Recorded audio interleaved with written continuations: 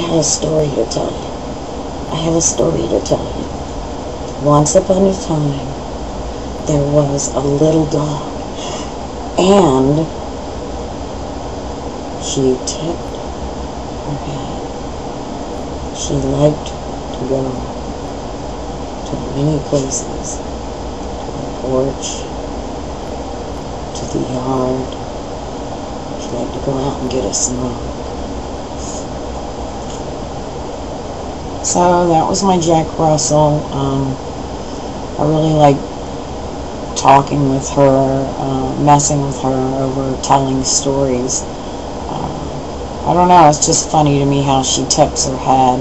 I think that's more of a personal thing than something that uh, the whole world would think was just all that fantastic. But uh, I get a kick out of it. Um, today, Wednesday, August 1st, 2007. August hasn't come soon enough for me. It seems like July was a really long month. I can't wait for the fall. I'm getting really tired of hot weather. Um, um, so I've been trying to keep up on news and various things like that, but uh,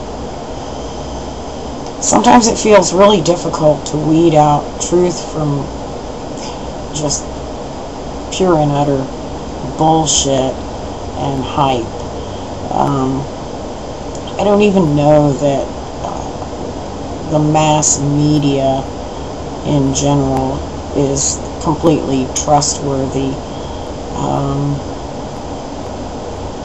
I think that it's very difficult to find uh, factual sources that don't put some spin on something. Um, and I don't know what that exactly says about our society. Sorry if I'm slow. I'm always a little bit slower because I'm not planning any of this if I ever talk. I'm just talking off the top of my head uh, rather than entertaining at the moment. I, am not interested in entertaining anybody. This is just more of the personal kind of thing that uh, is my little diary to the rest of the world, or at least to you two. whoever is whoever is going to be uh, bored enough to sit and listen to me ramble on. Uh, let's put it that way, because I, I wouldn't say that I'm the most interesting person. Uh, I could be interesting if I was having a two-way conversation. It's just I am not a star.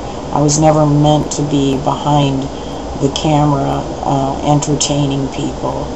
Um, that isn't something that I have a desire to do.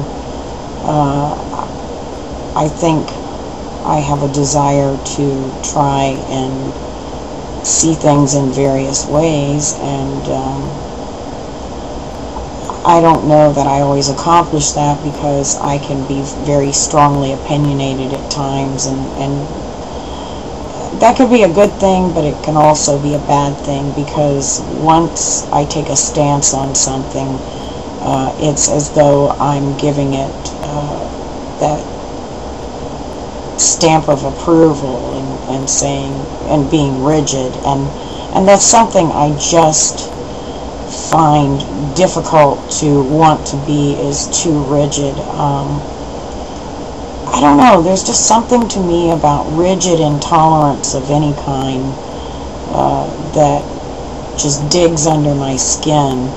Uh, and even I do it at times. I, I just think it's something that is ingrained, just a part of, of humans. Uh, it, it's more comfortable to try and find a balanced platform to stand on and, and, and when you're not uh, you can often draw people to assume that you know you're just milk toast you're just you know constantly riding the fence and you have no views and that's not the case a lot of times when I'm not giving a specific viewpoint when when I'm when I seem a little bit, bit more like I'm riding the fence or I'm just bland as far as opinion goes. Um, I, I think it's because I'm just trying my best to be impartial and uh, that's a difficult thing to hold on to and balance. It's easier to be opinionated and to live within some kind of confines of belief or whatever.